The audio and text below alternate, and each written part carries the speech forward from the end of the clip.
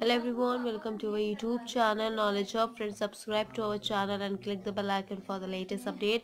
आज हम लोग D S that is distributor system की क्लास 39 करेंगे जिसमें हम लोग पढ़ेंगे solution to the consensus problem can be use to solve the interactive consistency problem ठीक है तो हम लोग ये डिस्कस करने वाले हैं आज के लेक्चर में इससे पहले हमने जो भी लोगों ने क्लास नहीं देखा है बच्चों ने तो प्लीज़ एक बार जाकर प्ले के थ्रू गो थ्रू हो जाए उसको जिससे वो सारे वीडियोज़ एंड बेसिक्स उनको क्लियर पता चल जाएगी हमने क्या डिस्कस किया है ठीक है तो आज डिस्कस करते हैं हम। The Byzantine agreement problem is a special case of the interactive consistency तो बेजेंटाइन एग्रीमेंट प्रॉब्लम जो होती है, वो एक तरह का स्पेशल केस है इंटरेक्टिव कंसिस्टेंसी प्रॉब्लम का। The Byzantine agreement problem can be solve using a solution to the consensus problem in the following manner तो इस तरह से आपके बेजेंटाइन एग्रीमेंट प्रॉब्लम जो है, वो सॉल्व होते हैं सोल्यूशन को कंसिस्टेंस प्रॉब्लम को एक पर्टिकुलर फॉलोइंग मैनर में। जिसमें पहला पॉइंट है आपका कि the source processor send its value जो सोर्स प्रोसेसर होता है, वो अपना वैल्यू सेंड करता है to all the other process all other process में इंक्लूडिंग इट अपने आप को भी भेजता है और प्लस और जितने भी प्रोसेसर उससे रिलेट करते हैं, वो सारा सोर्स प्रोसेसर उन लोगों को मैसेज भेजता है सेंड करता है, ठीक है?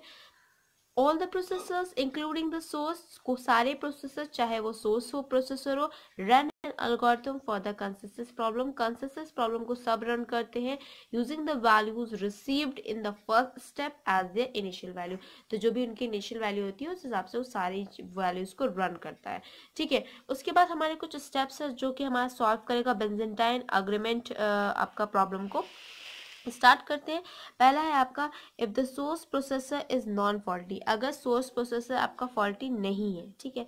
If the source processor is non faulty then all the processor will receive the same value अगर नॉन फॉल्टी है तो ऑब्वियसली बात है, सब एक सेम वैल्यू रिसीव करेंगे in the first step first step में सब एक सेम वैल्यू रिसीव करने वाला है and all the non faulty processor will agree on that value तो सभी अग्री भी करेंगे उन पर्टिकुलर वैल्यू पे।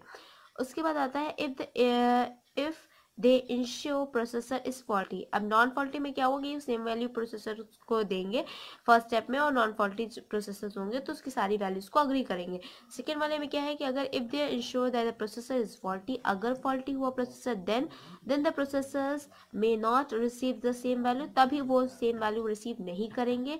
इन द फ़र्स्ट स्टेप जैसे कि all the non faulty processor will agree on the same value जितने भी नॉन फॉल्टी प्रोसेसर होंगे, वो सेम वैल्यू पे अग्री करेंगे। ठीक है? तो ये आज की क्लास के लिए आपके लिए इतना ही है। Thank you hope you enjoy this video if like this video please give a thumbs up and give your suggestion on a comment box thank you